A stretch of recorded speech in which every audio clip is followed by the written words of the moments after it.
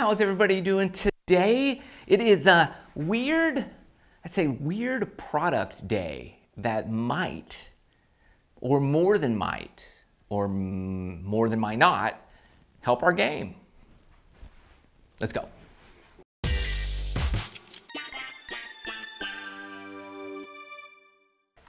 Well, guess what we have here? The pocket bunker. Pocket bunker. Look at that. That is the craziest thing I've ever seen. Look, I saw this on Amazon, so I had to buy it. It's not very expensive. I'll leave a link in the video description below. Non-sponsored video. I get nothing for this. I just thought it was the weirdest thing I've ever seen in my life. And he here's what we got. Inside the box comes this, this weird guy. It looks kind of like an octopus holding a golf ball. It has uh, one, two, three, four, five, six, seven. It's got eight legs. Just like, I think an octopus has eight legs, whatever. And what's cool, it, it just grabbed my attention, okay? And so with the bunker shot, what you're trying to typically do, and instructors say this all the time, you want to hit an inch to two inches behind the ball, inch and a half. Like that's that just drives me nuts because how am I supposed to like look exactly an inch and a half behind the ball? That's difficult.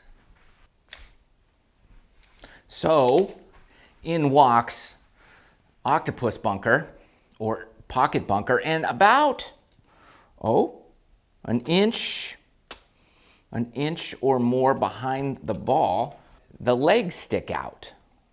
Question is, will this help you get better? Because so many people uh, are hesitant to practice their bunker game at the short game area for fear of hosling or thinning one into somebody's forehead.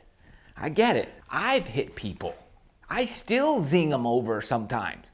So how can we get con- and then that just jacks you up when you go on the golf course. Forget it. So can using this bad boy at home help you later on? That's what we're trying to find out.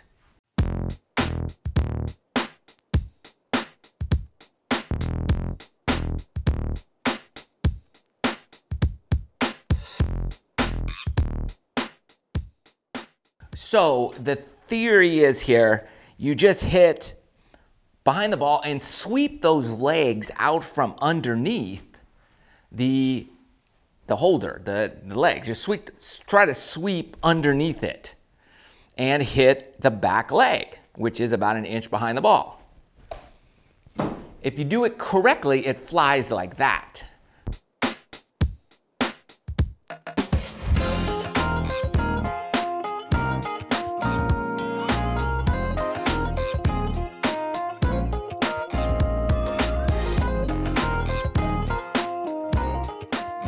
It's not gonna fly that far, so you can be careful where you do this, but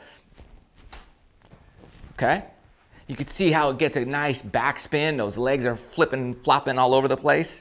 And I'm guessing a bad shot, yeah, that, that's a bad shot if you thin it. Here's what I like about this. As I'm addressing the ball, there's a good contrast from the blue and the white and the green. And I can see exactly and focus exactly where I want to hit the ball, where, where I want to enter the sand, which would be right where those legs end. So I set up there, and so that's all I'm focused on right there. And I've got a good feeling visualization of where to strike. I like that. Sweep the legs. Just sweep the legs. Sweep the leg. You got a problem with that? No, sensei. All right.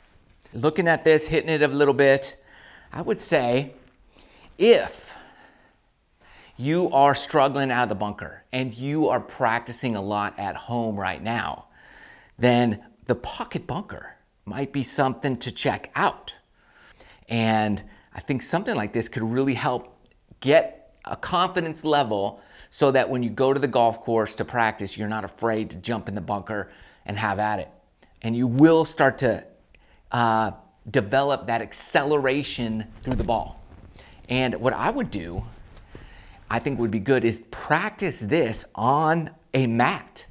Because if you hit behind the ball too much on the mat, okay, what's gonna happen is it's gonna zing off to the right, and that's not a good shot. So on your carpet at home, something like that, if you are too far behind it, it's gonna be a bad shot. And you learn how to get right here, right there, right there, right there. Because when you go in the bunker, if you're too far behind it, if it's hard packed sand, it bounces off and you thin it, or it just digs deep into the sand. So it could really help your sand game just to build that confidence and know exactly where you want to enter the sand. So pocket bunker, hope you guys had fun watching this little video, checking out uh, crazy little products like, like this bad boy. Interesting, give it a check out. Love you guys. Please subscribe to the channel if you haven't done so already. And if you would like to see a tutorial on how to play bunker shots, uh, click right over here. Until next time, good luck out there.